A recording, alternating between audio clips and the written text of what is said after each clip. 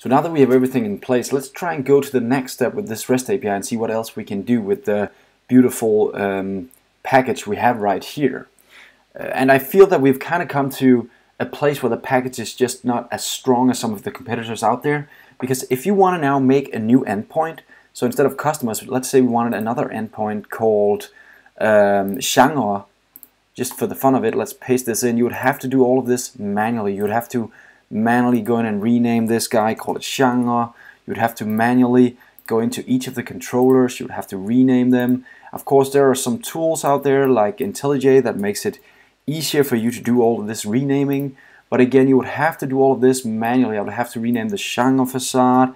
I'd have to rename da da da da. I'd have to rename the customer, the genre. So notice all of this is manual, right? So I feel that even though this is a great startup uh, REST API tool for um, our Yeoman setup, there are better ones out there. So I'm going to present to you one that is even better next. But let's just try and wrap this up. I'll just skip to the end where I've just renamed everything.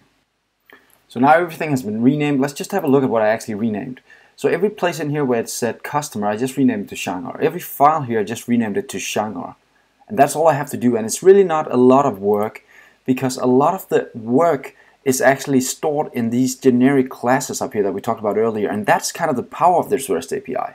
That's what makes it very, very strong because notice that in the controller now, I still have, um, oh, sorry, in the facade, I still have all of this ready for each API. So already we have pagination implemented, already have searching, uh, sorting, sorry, implemented. It's already there. It's really, really powerful. So now the genre is ready. And let's just, one more place I have to work, and that's inside routes, because I need a new route in here. And that's, of course, my genre route, like this, and that's going to point to genre.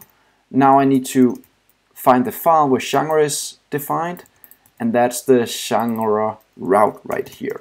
So again, it's just manually copying a lot. And I know there are tools out there to make this easier, and I really encourage you to use those if you want to use this REST API.